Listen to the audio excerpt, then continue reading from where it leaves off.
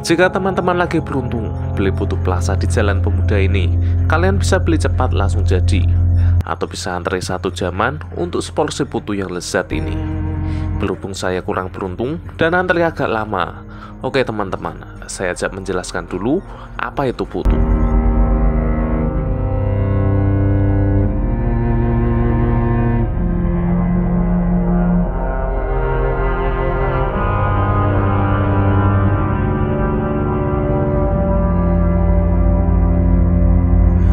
Kue putu ini teman-teman adalah jenis kudapan tradisional Indonesia berupa kue dengan isian gula jawa dibalut dengan parutan kelapa dan tepung beras dengan butiran kasar.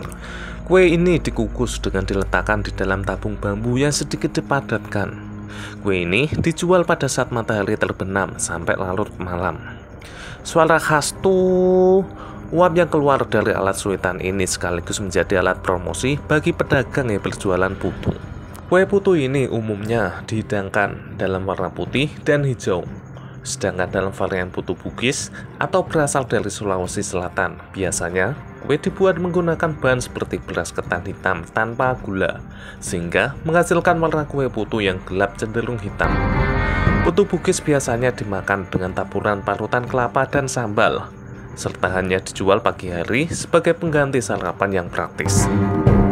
Melalui diaspora Jawa dan Bugis, kue putu juga dipopulerkan ke negara lain oleh orang Jawa dan Bugis, seperti ke Singapura dan Malaysia juga tersedia putu. Kalau dicepu berwarna putih dan ada menu lainnya seperti klepon, lantai, lapis, kupang dengan harga 5 ribuan semua.